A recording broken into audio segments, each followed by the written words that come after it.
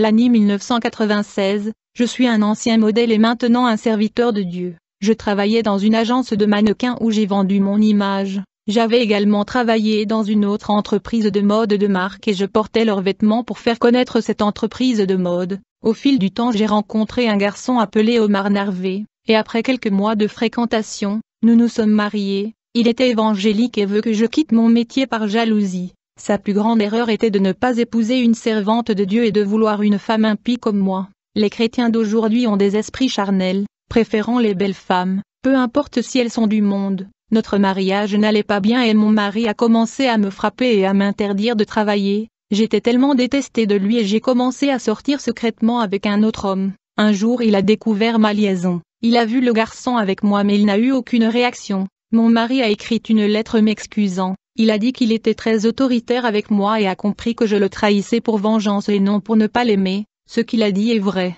Je l'aimais mais j'étais très blessée. Je voulais lui faire mal afin qu'il puisse ressentir ce que je ressentais. Il a quitté la maison et est allé dans une autre ville, j'étais libre de travailler à mon travail. Mon frère Fernando, qui s'était drogué avec de la drogue, venait juste de devenir un revendeur de drogue. Je voulais être plus belle et dépenser de l'argent en chirurgie esthétique. J'ai mis du silicone sur mes fesses et trois mois plus tard, j'ai subi une intervention chirurgicale pour mettre des implants dans mes seins. Je suis allé à la table d'opération et j'ai eu des complications ce jour-là. J'ai perdu beaucoup de sang et mon cœur avait un rythme cardiaque très faible. Mes visions devenaient sombres, je mourais lentement et ma vision spirituelle devenait réelle. J'ai commencé à voir des démons ressemblant à des vautours autour de moi voulant prendre mon âme. J'ai prié dans mes pensées pour la miséricorde de Dieu. J'avais peur de mourir et je ne voulais pas que ces monstres les prennent mon âme. J'ai fermé les yeux et je ne pouvais pas ouvrir et je me suis réveillé en enfer. J'étais terrifié de voir la scène d'horreur à cet endroit. J'ai vu un homme dont le dos était plein de tatouages et un démon lui a fouetté le dos et les morceaux de chair ont commencé à tomber par terre.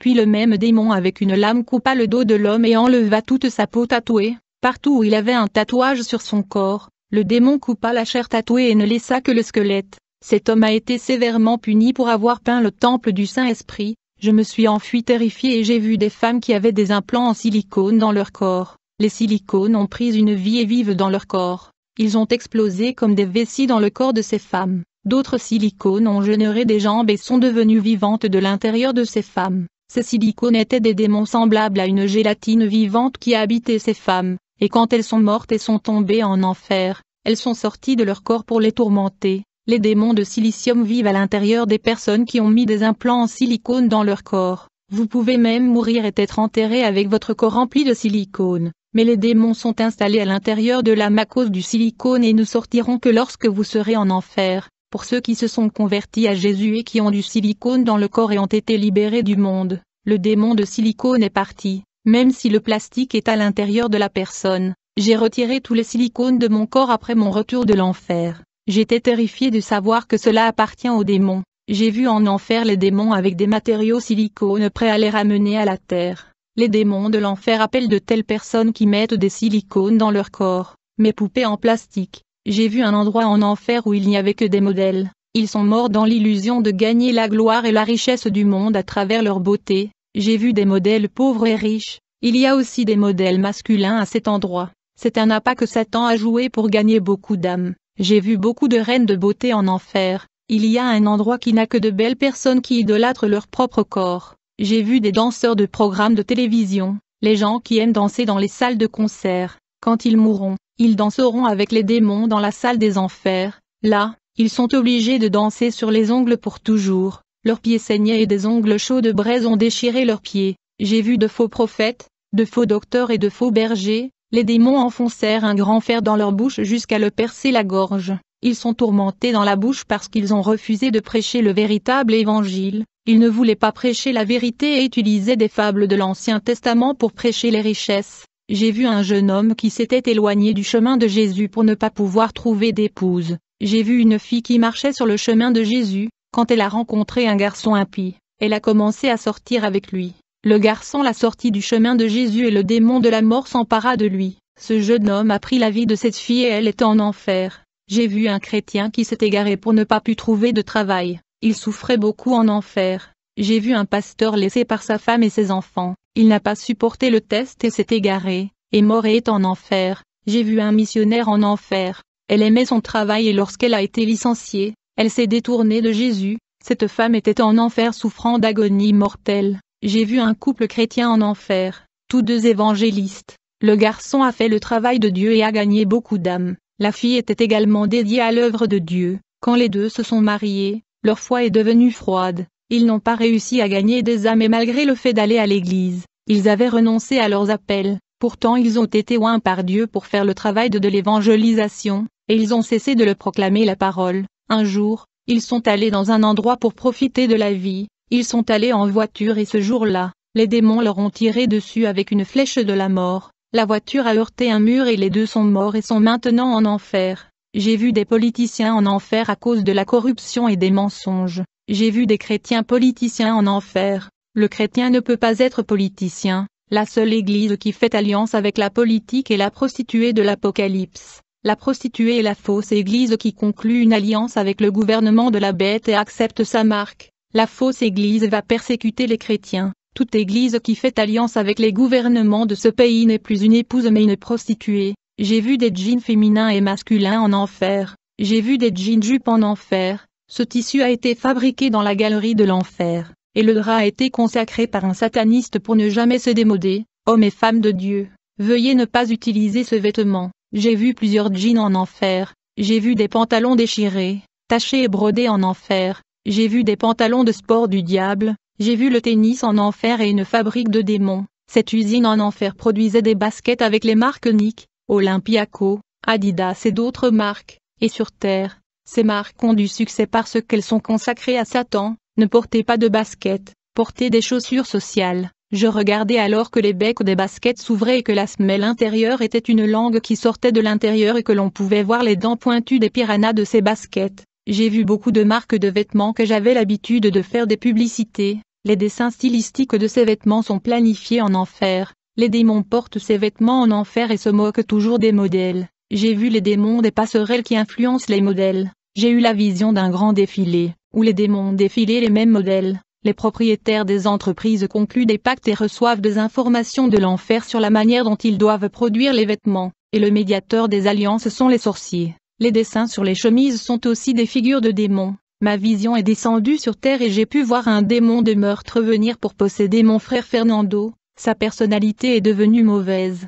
J'ai vu son cœur se durcir et son âme devenir sombre. Il était capable de prendre une arme à feu et tuerait une autre personne. Je suis Omar Narve, mari de Belinda Martinet. J'étais parti dans une autre ville et j'étais triste de ne pas être un bon mari. Ma rébellion en tant que chrétien a coûté cher. J'ai rêvé d'un ange de Dieu qui est venu vers moi et a touché mon corps. Et tout à coup, mon corps était rempli de lèpre. Après ce rêve, j'ai eu la leucémie et j'ai été hospitalisé. J'étais brisé pour avoir été un chrétien au cœur dur, et à la mauvaise humeur. Je me suis repenti et j'ai prié dans ma chambre où j'ai été hospitalisé. Quand ma famille a appris que j'étais hospitalisé, ils m'ont abandonné. Ma femme n'était pas au courant de ma maladie. J'ai commencé à prier pour qu'elle me pardonne. Alors que j'étais sur le lit de chirurgie, une force de l'enfer m'a tiré vers le bas et j'étais coincé à cet endroit. Les médecins qui m'avaient mis des implants en silicone se battaient pour ma vie. Je suis revenu vivant sur ce lit d'hôpital. Quelques mois plus tard, j'ai sorti les implants de silicone pour vivre en tant que personne physique.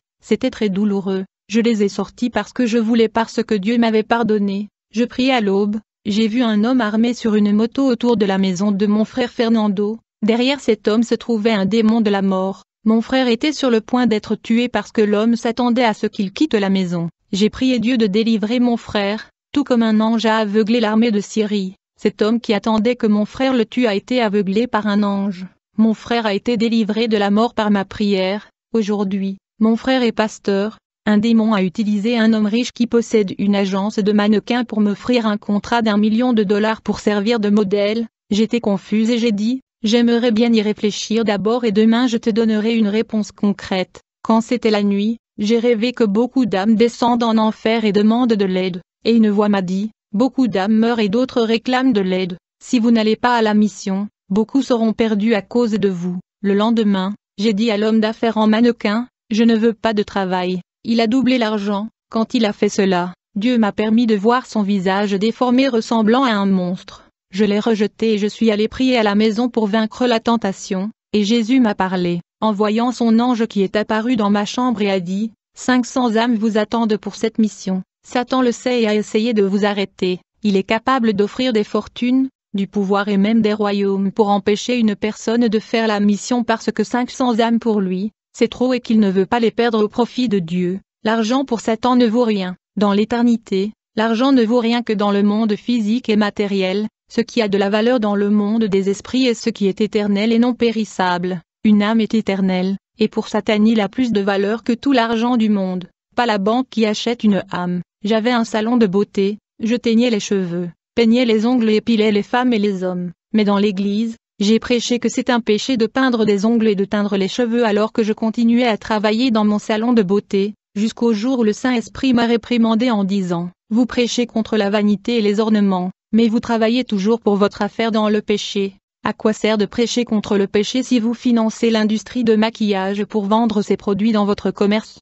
J'ai fermé le salon, je voulais me réconcilier avec mon mari. J'étais désolée pour le péché d'adultère. J'ai reçu de fausses nouvelles qu'il était décédé d'un cancer du sang, et quand je songeais à me remarier, l'ange du Seigneur vint me voir à l'aube et dit que je ne suis pas veuve, car mon mari est toujours en vie. J'avais déjà rencontré un chrétien et j'ai été obligée de le quitter. J'ai pu trouver mon mari et il n'était pas malade, il était guéri de la leucémie et faisait le travail. Il a été changé, il n'était plus cet homme brutal. Cela faisait un an et trois mois qu'il souffrait de ce cancer qui lui avait brisé et transformé en un autre homme, une nouvelle créature. Nous nous sommes pardonnés, nous nous sommes réconciliés et nous sommes revenus vivre ensemble. Mon mari a ouvert un ministère, mais une diaconne essayait de séduire mon mari. J'ai prié Dieu et il m'a révélé qu'un démon de la séduction l'utilisait. J'ai prié Dieu de nous libérer de la tentation de la séduction dans mon mariage, et cette diaconesse a quitté notre ministère et nous ne l'avons jamais revue. Quand j'ai eu cette révélation de l'enfer, je ne suis jamais retourné travailler dans cette entreprise de mode,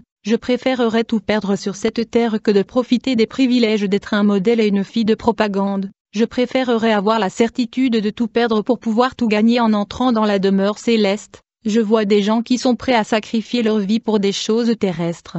Rien de tout cela n'a de valeur comparée à la grâce et au salut de Dieu. La joie d'avoir le nom écrit dans le livre de vie et débordant devant l'onction des dieux et tout dans la vie. Nous sommes riches de tout cela. Je veux dire pour les gens qui mettent de l'argent avant tout. J'ai gagné beaucoup d'argent comme modèle et mon salaire élevé n'a pas rempli mon vide. La prostituée de l'Apocalypse est ornée des ornements du monde à séduire. La prostituée utilise des robes séduisantes et s'enivre du vin des plaisirs. Beaucoup de femmes dans l'église portent les mêmes ornements de ce monde. Ces vêtements sont séduisants comme la prostituée de l'Apocalypse. Les femmes chrétiennes se saoulent au vin de ce monde comme une grande prostituée, le vin des plaisirs de ce monde est vanité, sensualité et les manies. Je fais l'évangélisation avec mon mari partout. Je veux partager l'héritage céleste avec tout le monde. Je veux voir toutes les âmes de l'autre côté de la vie, en appréciant le paradis. Nous ne pouvons pas mourir sans amener le royaume de Dieu au peuple. Tout cela est gratuit et je veux partager tout ce qui est de Dieu avec vous. La fonction de l'homme est de vivre en Christ et non seulement d'exister sur la terre. Beaucoup de chrétiens à cause de leur fonction rendent leur cœur fier. D'autres, parce qu'ils ont de la sagesse et de la théologie, estiment qu'ils n'ont pas besoin de Dieu au moment de la prédication, ceci est un danger.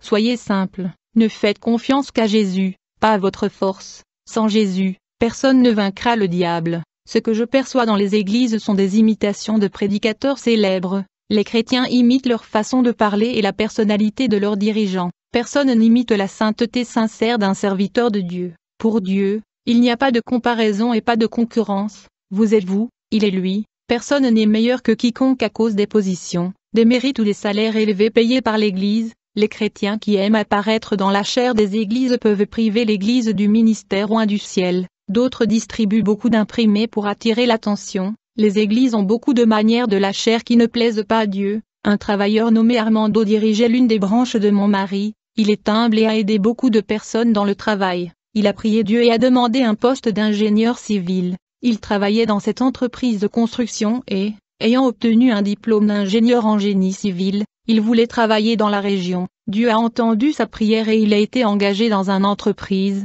Le problème est qu'il a abandonné le travail de Dieu et arrêté de prier. Le confort de son salaire paralysa sa vie spirituelle. Il a seulement pensé à voyager et Jésus m'a dit que Satan profiterait de cette facilité pour détruire sa vie. C'était un pasteur dont la prédication est extraordinaire. il a demandé et reçu ce merveilleux don de prédication, mais il l'enterrait maintenant, mon mari a dû choisir un autre ouvrier à sa place pour diriger la branche. J'ai tellement prié que Dieu réveille frère Armando pour qu'il refasse le travail. Beaucoup d'ouvriers de notre ministère qui ont perdu leurs biens matériels se sont écartés du chemin de Dieu. Cela signifie que leur cœur n'était pas sur Jésus mais sur les biens matériels de cette terre, ils ont été réprouvés en tant qu'hommes de foi et n'ont pas réussi l'épreuve. Les ouvriers de notre ministère qui étaient plus utilisés que moi ont quitté le chemin de Jésus parce qu'ils étaient au chômage. J'étais inquiet de voir autant de chrétiens quitter notre ministère. Jésus m'a dit, J'enverrai des épreuves à ceux qui sont sortis et cela leur apportera des changements. Après trois mois de cette révélation, un ouvrier est revenu avec un cœur brisé. Elle, son mari et ses enfants ont été une bénédiction dans l'église, après qu'elle nous ait quittés. Son fils est devenu accro à la drogue et décédé d'une overdose. Son mari l'a quitté et s'est rendu dans une autre ville. Un autre ouvrier est retourné dans les voies de Dieu après avoir été humilié dans le monde. Elle a perdu son travail qu'elle avait accompli dans les consécrations, elle a été expulsée de la maison louée dans laquelle elle vivait et vivait de la charité. Cette femme n'avait ni mari ni enfant, mais a subi l'humiliation des autres. Un diacre de notre ministère s'était égaré, j'ai beaucoup prié pour lui, et plusieurs fois, j'ai vu un ange fermer les fosses pour lui, j'ai rêvé plusieurs fois avec lui en marchant dans une entrée sombre pleine de fosses profondes, un ange avec une pelle a jeté de la terre dans cette fosse, les fermant pour qu'il ne tombe pas. Ma prière a prolongé la vie de ce jeune homme et arrêté le monstre de la mort qui voulait tellement le prendre, malgré tout. Il est revenu dans notre ministère avec une maladie grave, Dieu a permis à cette détresse de le réveiller. Il avait un cancer et n'avait pas d'alternative et le seul moyen était de se rendre à Dieu. Au moment de mourir, il se repentit et pleura amèrement, c'était six mois de détresse et Jésus l'a sorti de son lit et l'a guéri. Le cancer a disparu et aujourd'hui, il fait le travail pour aider mon mari. La petite entreprise du diacre Euro a fait faillite. Il s'est endetté sans pouvoir payer ses dettes. Il se réunissait avec nous et aidait mon mari à ouvrir le ministère et faisait un collège d'administration. Il a ouvert son petit commerce et a promis à Dieu que, s'il lui donnait du succès, il aiderait l'œuvre de Jésus à se développer. Lorsque sa société a commencé à faire des profits, il a détourné son attention et a commencé à dépenser son argent pour les femmes et la prostitution, oubliant sa promesse. L'homme promet et ne réalise pas mais Dieu accomplit ce qu'il promet parce qu'il veille sur sa parole pour l'accomplir. Méfiez-vous de ce que vous avez promis à Dieu, car il vous tiendra pour responsable. Cet homme a tout perdu et s'est souvenu de Dieu. Il est venu dans notre église un homme brisé et dans le besoin. Jésus m'a parlé, me révélant ce qu'il adviendrait des frères rétrogrades, et les révélations se sont accomplies à partir de trois mois. Jésus a dit, je laisserai Satan toucher ce qui est le plus important dans leur vie, ce qui occupe la première place dans leur cœur et beaucoup de ceux qui étaient dans notre ministère et étaient allés dans le monde pour des choses banales pendant environ un an et demi sont revenus à l'œuvre du Seigneur dans l'Église. Lorsque mon mari a perdu ses membres, il a presque fermé l'Église car il n'avait pas assez d'offrandes pour payer le loyer. Lorsque mon mari a pris la clé du hall pour le remettre au propriétaire, le même jour, un homme d'affaires a arrêté sa voiture près de cette humble église et a fait un don en espèces, et nous avons pu payer un an de loyer et nous avons signé un contrat. Quand le travail est de Dieu, il ne permet pas les échecs et prépare tout. J'avais pleuré et prié fort pour que l'église ne ferme pas. Après le retour des frères rétrogrades, ils ont commencé à faire leurs offrandes, en avançant un an de loyer, nous étions en paix, vous n'avez qu'une seule flèche, tirez sur la bonne cible car c'est la seule opportunité. Si nous perdons la chance, nous ne gagnerons pas ces âmes. Apprenez à utiliser la parole en fonction de chaque problème. Chaque verset est la solution exacte à un problème différent. La parole est un médicament pour les gens selon leurs problèmes et leurs circonstances. Chaque mot de la Bible est un traitement spirituel pour chaque maladie de l'âme. L'Église doit être comme un père et soutenir les enfants sans perdre l'alimentation de la parole, en leur apprenant à travailler. L'Église est aussi une mère qui donne de l'affection, de l'amour, de la correction et ne manque de rien. L'Église est comme un oiseau qui accueille les jeunes sous les ailes et leur apprend à marcher en conseillant sur les dangers du mal. L'Église doit faire preuve de confiance, de conviction et de certitude quant à la véracité de la doctrine biblique, l'Église doit satisfaire tous ceux qui entendent ces enseignements. Les gens préfèrent aujourd'hui se rassembler dans des églises anciennes et célèbres. Ce n'est pas une question de savoir quelle église est la mieux connue, mais quelle église sont les élus du Seigneur. Les noms d'églises ne veulent rien dire. La taille du temple et le nombre de membres ne sont pas importants. Les vieilles églises qui sont célèbres pour leurs histoires, mais aujourd'hui, elles sont mortes. Ne minimisez pas les églises qui ne sont pas connues. Ne méprisez pas une petite église avec peu de membres car ils peuvent mener une vie évangélique sérieuse alors que les célèbres églises ne donnent pas la vie spirituelle à ses membres. L'église peut être inconnue et très spirituelle, et les églises célèbres avec un grand nombre de membres vivent dans la chair, ce sont les petites églises qui connaissent une renaissance. Je suis le mari de Belinda et pasteur d'une petite église, les gens sont engagés envers Jésus par cette église et on leur apprend à marcher dans le droit chemin du bien. Berger, nous n'offrons pas de formule magique de prospérité et nous n'annonçons pas de miracles pour attirer les foules. Il y a des églises qui annoncent ce qu'elles ne peuvent pas faire. Ils promettent ce que Jésus n'a pas promis de faire. Lorsque Jésus veut exploiter ses merveilles, il ne s'oppose pas à la vente de miracles. Jésus n'est pas obligé de faire des miracles à moins qu'il ne le veuille à cause d'une campagne de miracles. Il ne peut pas être contraint de faire les vanités de ces pasteurs transgressifs de l'Évangile, à leur guise. L'Église pour gagner le respect et la crédibilité de Dieu doit être différente.